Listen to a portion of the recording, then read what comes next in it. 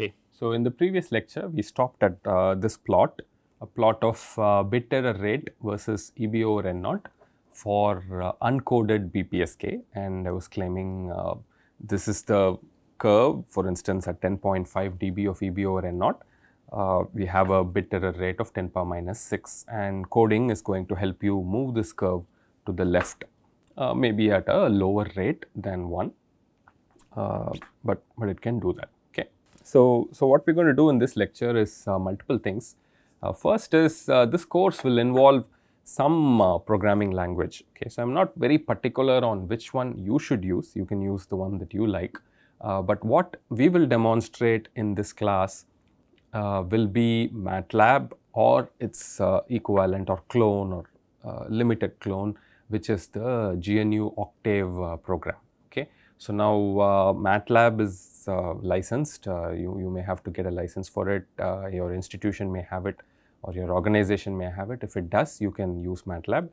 if you do not have such a license, you can download Octave for free. It's a free and open source software and uh, you can use it. The reason why I am sticking to MATLAB Octave is it has a common syntax and it's uh, easy and many people know it. So, that is why I am doing it. Uh, but none of the assignments will actually require you to stick to MATLAB. If, if, but, but you should do some programming. You, you might use Python if you like or C if you like. You will have to write some programs. Uh, but uh, what I will show you, what I will demonstrate to you in class will be MATLAB uh, and Octave also. I will use both just to show you how uh, they are both uh, quite equivalent. Okay. So, to begin with that in this lecture, we are going to see a couple of things. One uh, mainly is how to generate this graph. Uh, we will see that uh, using MATLAB and Octave as well.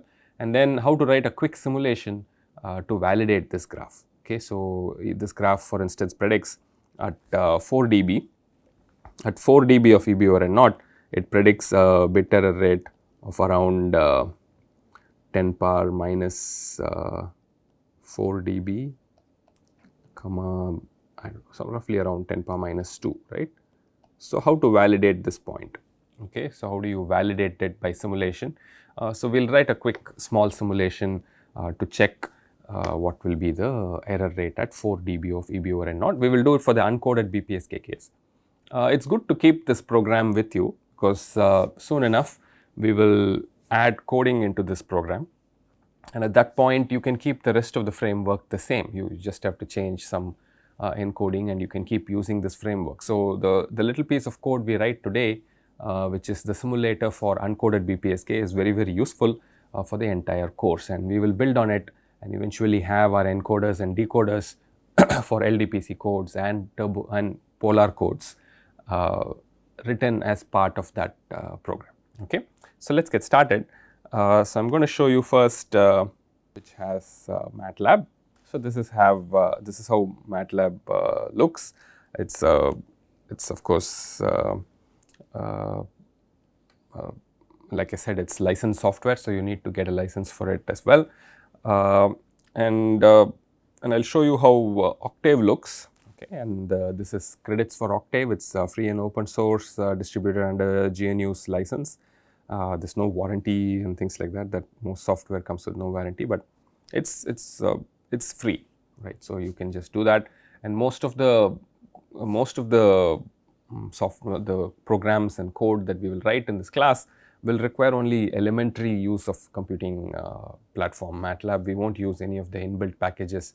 We will write everything from scratch. So, most of the things I write, uh, you will be able to run it on Octave uh, just like that as well. Okay. So, just for uh, completeness, today I will show both Octave and uh, uh, MATLAB. Going forward, maybe we will stick to one of the two just to keep things simple. Okay. So, let us get started.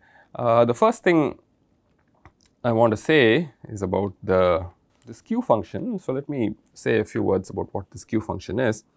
Uh, like I mentioned, you have this uh, Gaussian integral, right, and then uh, this is the Gaussian PDF, which is 1 by root 2 pi e power minus x squared by 2.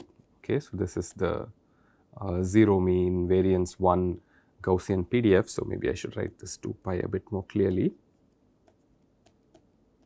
Okay. and uh, if you if you keep uh, if you fix a point like say x naught okay q of x naught is defined as integral from x naught to infinity of this function 1 by root 2 pi e power minus x squared by 2 dx. Okay. So, this is the function that we have to implement to be able to make that plot and that plot was with uh, q functions. Uh, now, uh, it turns out many um, for instance MATLAB, MATLAB has a package which will evaluate the q function for you, but we do not have to use that package uh, because there is another function called ERFC complementary error function of x naught which will look very similar to this. In fact, you can go to MATLAB and uh, type uh, help ERFC which is what I have done here and you see ERFC is very similar to uh, Q. You can see what it is here. It is uh, 2 by square root of pi integral from x to infinity of this. Okay. So, this you can see is sort of similar. So, let me write it on the other page and we will see how to manipulate one to get the other. It is quite straightforward. I will show that uh, show how to do that. Okay.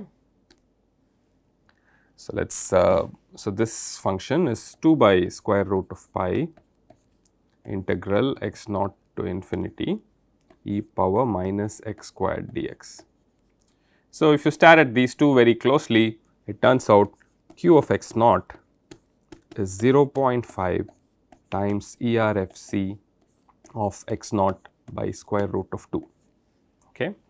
So, you can check that. Uh, so, how to so, so, so how to prove this? So, so you'll have to do a you'll have to do a substitution here of uh, x equals x by root 2. Okay. If you do that, this will become integral x naught by root 2 to infinity 2 by root pi uh, e power minus you will get the x squared by 2 that you want. This will be 1 by root 2. Okay. So, this 1 by root 2 will cancel here and you will get a root 2, but you need a 1 by 2 root 2. So, you need a half. So, this is a formula that I am not going to give you more details of. Please check this. If you do this substitution here, you will get this equality. Okay. So, 0.5 ERFC x naught by root 2 is q of x naught. Okay. So, this is a good thing for you to remember. I think I had put this up in the previous slide as well. Uh, the nice thing is ERFC is uh, natively supported in most uh, platforms. You will have a function for it and you can write a quick uh, conversion to Q. Okay. So, you can keep this in mind. Uh, so, once we have this, we are ready to write our uh, little piece of program to generate the, the curve.